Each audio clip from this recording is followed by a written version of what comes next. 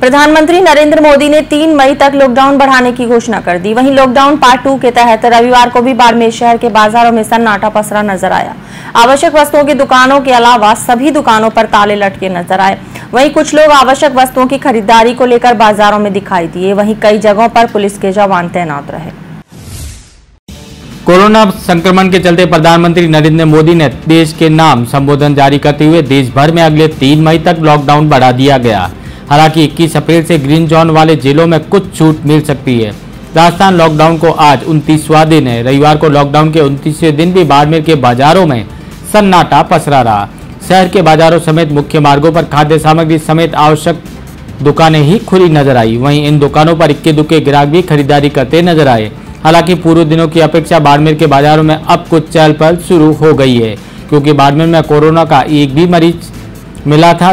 जिसकी भी रिपोर्ट लगातार दो बार नेगेटिव आ चुकी है। रिपोर्ट के नेगेटिव आने के बाद बाड़मेर के लोग काफ़ी संतुष्ट हैं और आवश्यक वस्तुओं की खरीदारी के लिए घरों से बाहर निकलते देखे जा सकते हैं।